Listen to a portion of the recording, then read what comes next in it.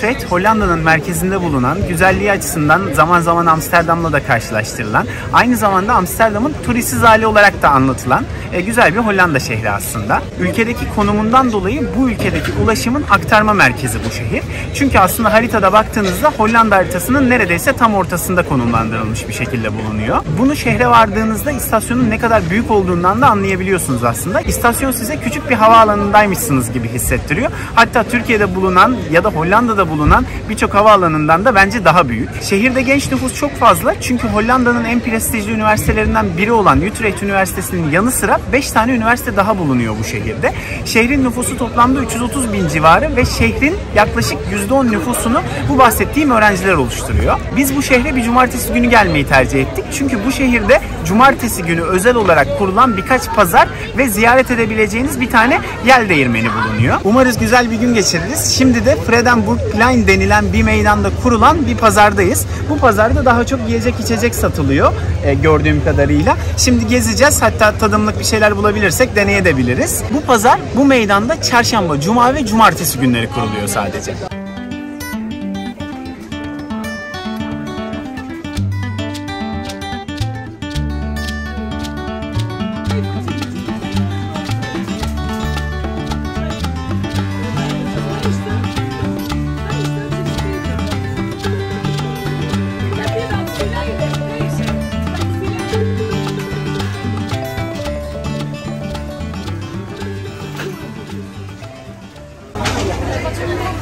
Balık satan bir yerden kızarmış balık aldık.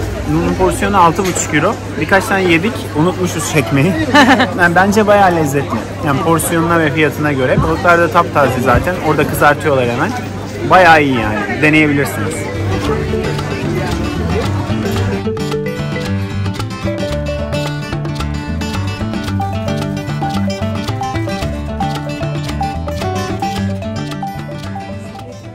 Pazarda güzel bir kanolici gördük Ee, ve e, birer tane kanoli aldık kendimize. Bakalım tadı nasıl? Nasıl? Güzel ama. Güzel mi? Ee, dışının sert olmasını beklemiyordum.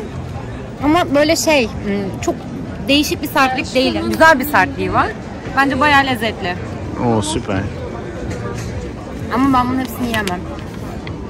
Şimdi Molendester Yel Değirmeni'ne geldik. Ee, Burada her cumartesi saat 1 ile 4 arasında bedava e, tur yapılıyor. Yani şehire cumartesi gelme nedenlerimizden de bir tanesiydi zaten bu. Birlikte içeriği görelim. Yel Değirmeni önceden bir kereste fabrikasına aitmiş ve burada elde ettikleri enerjiyi keresteleri kesmek için kullanıyorlarmış. İçeride de sanırım bunu gösteriyorlar şu an. Beraber bakalım.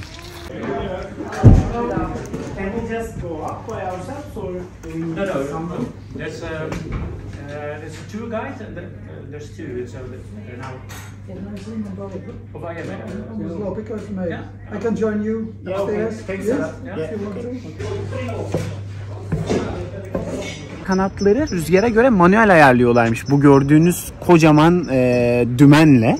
Bu dümenle yönünü ayarladıktan sonra rüzgara karşı eğer çok şiddetli bir rüzgar olup zarar verecek kadar fazlaysa bu rüzgar bu yel değirmenine bu ipten bu yel değirmenini durdurabiliyorlarmış. Şimdi bize anlatan çok tatlı yaşlı bir amca var. Şimdi bizim için yel değirmenini bunu kullanarak durduracak.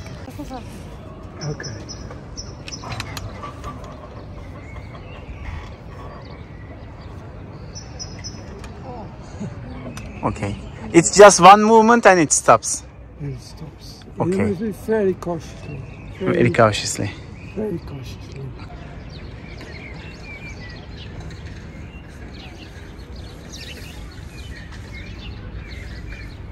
So with the same It's rope, you you also do the break and lose the break. Yes. Yeah. Yes. It's the same rope. Yel değirmeninin kanatlarının arkasında bulunan dişli kanatlarla birlikte dönüyor ve sırasıyla bağlı olduğu diğer dişlileri de döndürüyor. Bu dişliler birbirlerine 90 derece açıyla bağlılar. Bu dişlilere ayna dişli deniyor.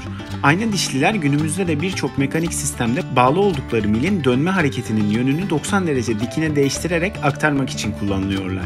Şu anda görmüş olduğunuz bu dişliye hareket ulaştığı zaman bu dişlinin dönmesiyle doğal olarak bu dişliye bağlı mil de dönüyor ve bu milin merkezine belli belli bir mesafe ile bağlanmış olan kütük de milin dönmesiyle birlikte aşağı yukarı hareket etmeye başlıyor. Kütüğün aşağısına ise testere bağlanmış ve kütükle birlikte hareket eden testere odunu kesiyor. Aslında burada kullanılan sistem araba motorlarındaki silindirlerin çalışma prensibinin tıpatıp aynısı. Yel içini gezdik. Bizi çok tatlı yaşlı bir adam, e, bir amca gezdirdi. Şimdi çıktık onun içinden. Burada büyük boş bir alan var yan tarafında. Burada birkaç tane hayvanın bulunduğu ufak bir alan da var. Tatlı işte koyunlar var, domuzlar var, tavuklar var vesaire. Bir de yel hemen şu altı kafe. Gelip oturmak isteyenler burada vakit geçirebilirler yel ziyaret ettikten sonra. Güzel bir yere benziyor.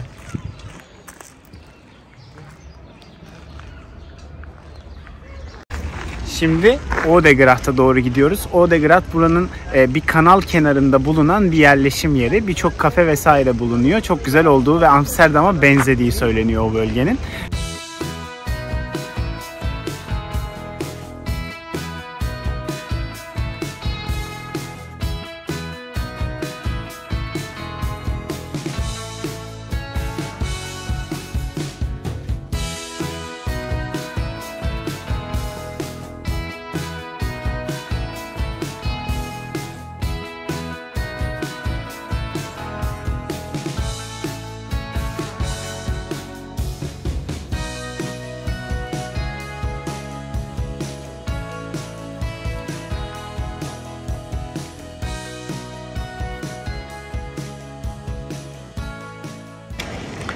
Şimdi Odegracht'a geldik. Ee, burası böyle iki katlı bir kanal kenarı sokak. Şu aşağı kattaki kapıların hepsi bu yukarıdaki evlere bağlı depolarmış aslında. Önceden e, kayıklara işte e, nehir taşıtlarına bir şey yüklemek için buradan çıkartırlarmış evlerindeki eşyaları direkt kayık seviyesinde yükleyebiliyorlarmış. Bir şey getirdikleri zaman da hemen depoya kolayca koyabiliyorlarmış getirdikleri malzemelerini insanlar. Maalesef şehrin en büyük simgelerinden biri olan Dom Tower tamamen bir konstrüksiyon altında. O yüzden hiçbir şekilde göremiyorsunuz onu. Ve bu 2024'te bitecekmiş. Biraz büyük boy bir patatesimiz var. Bu e, aynı zamanda Amsterdam'da da var. E, bayağı ünlü bir patatesçi. E, yani tahmin ettiğimizden büyük bir porsiyon çıktı. 5.75'ti bunun fiyatı.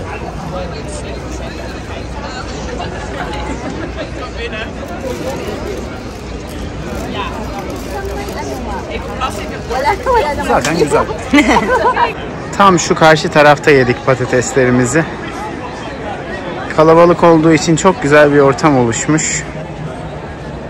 Hala Burçak orada. Mert orada, Büşra orada.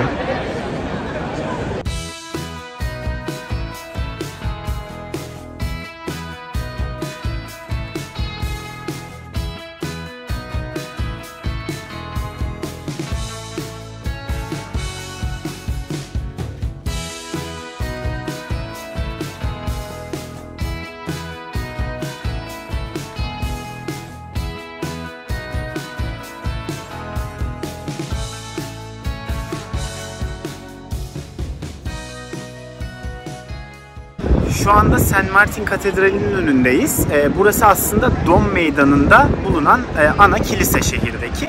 Ve hemen önünde de e, Çan Kulesi var bu kilisenin. Zamanında e, bu ikisi birleşikmiş.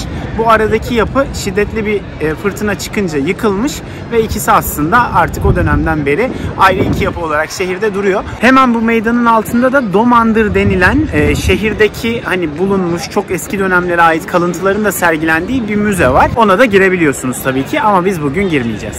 Şimdi Yanskerkhof Çiçek Pazarı'na gelmiştik ama saat 5'i biraz geçiyor maalesef tam toplanmasına denk gelmişiz. Burası şehir merkezine çok yakın. Utrecht'in Dom Meydanı'na çok yakın bir pazar. Yanskerk'in hemen önünde kuruluyor. Yani çiçekleri seviyorsanız, bu tarz pazarları seviyorsanız gelip buraya da uğrayabilirsiniz. Nasıl buldun Utrecht'i? Bence Utrecht çok güzel bir şehir. Amsterdam'a da neden benzettiklerini anladım. Yani bu kanalın etrafındaki e, yapılaşmadan dolayı. Hatta yani kanalın böyle iki katlı olması, aşağıya inip oturacak yerlerin olması bence Amsterdam'a göre burada daha güzel. E, yani şehir turistik değil diyorlardı. Amsterdam'a göre daha böyle rahat diyorlardı ama bence bayağı turistik bugün. Ya da turistik olmasa bile bayağı kalabalık sokaklar. Genel olarak bence şey, e, şehir bayağı iyi.